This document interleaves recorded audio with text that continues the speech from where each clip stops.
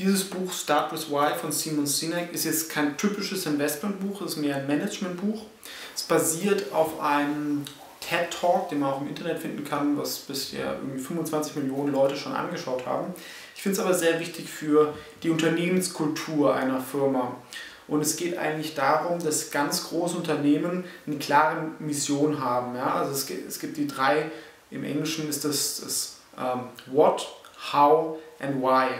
Und ähm, macht das so als Beispiel zwischen jetzt ähm, Apple und sagen wir irgendwie normalen PC-Hersteller die machen beide das Gleiche. Ja? Sie produzieren ähm, PCs, womit die Leute irgendwelche Sachen machen können, sich vernetzen können.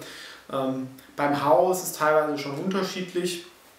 Der eine vertreibt es als Lifestyle-Produkt ähm, und macht es eine Marke draus. Ähm, aber der Hauptunterschied ist, und das ist auch der Titel des Buches Start with Why, ist, Apple will bessere Produkte gegen ähm, Windows schaffen und einfach ein tolles Design oder man hat diese Story, diese Jünger erschaffen, was natürlich sehr, sehr schwierig ist, aber auch oder auch ganz große oder sehr gute ähm, Führer von Firmen können die Mitarbeiter begeistern, warum sie dieses machen. Ja, gibt auch ein anderes Buch, das ist dann die höchste Stufe der Teamkompetenz, wenn eigentlich die Leute nicht mehr ähm, für irgendwie Geld arbeiten, sondern denken irgendwie, ähm, wir machen etwas, um die Menschheit zu verbessern auf irgendeiner Droge, ähm, oder was heißt Droge, äh, Medikament, Drug, ne?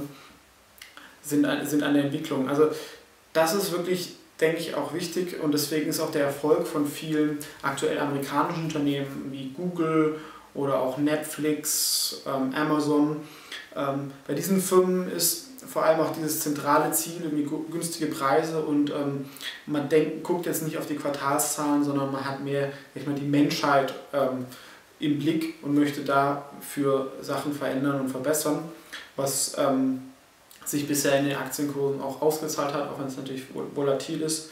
Aber was so bei vielen Firmen fehlt, ist ein bisschen die Vision und wenn man dann irgendwie einen hat, der immer nur Controller war und irgendwie auf, die, auf das letzte Komma schaut und auf Quartalszahlen, das ist mal kurzfristig gut, aber gerade im Internetsegment, ähm, was in, in, ähm, in, Deutschland ein bisschen fehlt, ist dieses Visionäre.